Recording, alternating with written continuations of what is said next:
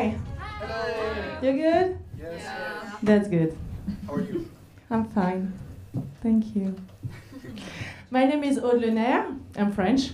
Uh, and in France, we say les nerfs. And uh, in English, les nerfs means the nerves. And it fits me pretty well because I'm quite a nervous person. Yeah. Yeah, especially now uh, because I've been single for a while. Yeah. Mm.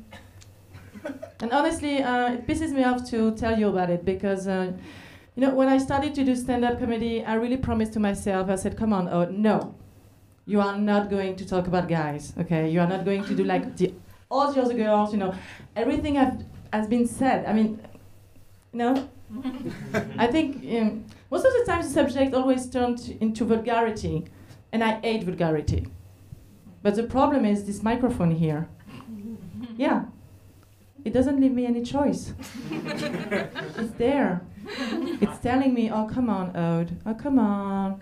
You want it? No, I. Yes, you do. No, yes, you do. You want to talk about guys?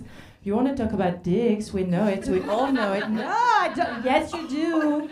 Yes, you do. It's coming, you know, next to my ear, whispering, "Oh, come on, Aude. We know you want it. You know you want to talk about guys. You want to talk about dicks. No, I don't want to. Yes, you do. Oh. Such a bitch. Oh. You want it. You want it. And I hate vulgarity. So let's talk about it. I don't have any choice. Yes. I think the most annoying thing when you're single is uh, the fake compassion of your friend. Yeah. Last time I was, I was talking to my uh, to my friend Catherine. Yes, I'm over 40, so I have friends with over 40 names. and uh, and she says, "Oh, come on, oh, don't complain. You know, um, you've been married, you had a child, you had your time." I was like, what? Well, what that's supposed to mean? I mean, um, I just can stop everything, live in Crocs in my house for the rest of my life, you know, uh, make breads with my pubic hair. Vulgarity, vulgarity, not my fault.